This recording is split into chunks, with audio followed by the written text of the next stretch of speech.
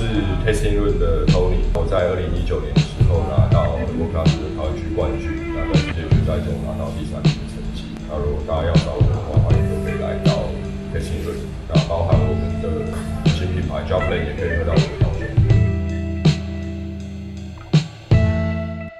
我觉得 World Class 它算是一个非常全方位的调酒师比赛，它其实已经不是一个调酒比赛，它是调酒师比赛。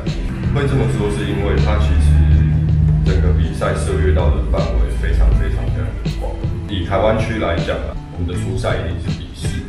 对，甚至其实有时候还会有闻香或品饮的部分。那一直到复赛，从 signature cocktail，然后到决赛的关卡，光是台湾区决赛的关卡至少有三到四个关卡。那从经典调酒，然后到每一年它都会再穿插一个外的 signature cartel 的的 challenge，然后 speed run、full pairing 等等，甚至到二零一九年的台湾区的决赛，它会有它有一个很有趣的关卡叫做八配果，是就给你一个空的吧台，然后让你自己去设计这个吧台。对，它其实已经考验到一个调酒师他在呃像是开店、办活动，甚至是车展。其实台湾台湾区的决赛，其实很多都会从有历年来 Global Final 的呃规则里面去挑适合的主题。呃，每年平均都会有五到六个关卡，对，像今年总共会有六个关卡。那其实六六个关卡都是不同的基酒，然后不同的主题，并且其实大概只有一个半月会非需要非常密集的做呃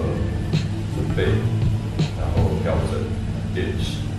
这些东西。呃，往年都是主关可能会淘汰掉一半，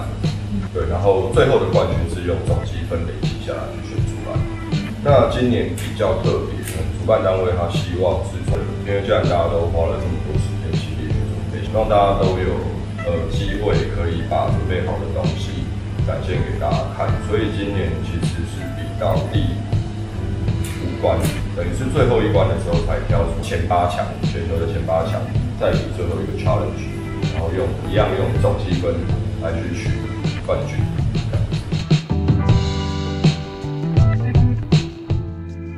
那那个关卡，它其实是要做做两个卡票，对，然后一个是要做一个 f i s 型，然后另外一个就是要做一个 lean drink 的饮料。那这一个关卡的话，你还必须要去设计一个情境，可以适合你用它的地方，其实有点像类似像拍一个广告的感觉。那在这个关卡的话，其实我就设计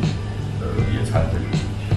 对，因为它其实里面一个很重要的元素就是这个 lean drink 这个东西，它其实是跟我们 d r o p l a n 还有 Tasting Room 的品牌定义一个有生活化这个事情有关系。那既然今天这个关卡我们要用专用回来设计一个关刀的机会酒的话，不管像像是野餐啊、露营一些比较轻松休闲的户外活动，其实它都非常适合。对，那所以在这一关我就带了一整组的野餐的道具，上台的时候我就叫评审坐到那个我布置的野餐区上面，对，然后我再 present 我的饮料给他。呃，好，其实那时候在准备的时候压力非常非常大。台湾历年来参加的有很多条实习都拿到非常好的成绩，像其实我们前面已经拿过两个全球第三名，也拿过好几个单项单项冠军。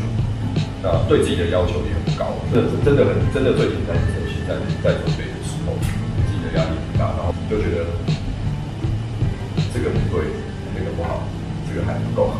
就觉得就自己会自己觉得没有一样东西好，然后是真的是一直到我去那边地方前面两个关卡之后才发现，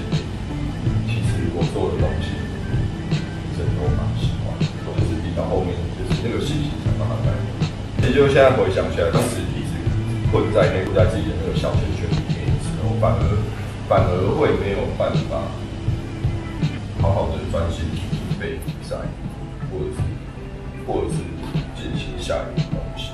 但但如果说那时候的心态把它放得比较正向、轻松一点哦，其实我觉得表现会更，我觉得上台表现可以再可以。就是我觉得要，我觉得要相信自己。我觉得要相信自己，然后看你自己做的东西。那得失心不要太重，我觉得把自己觉得最好的东西表现出来。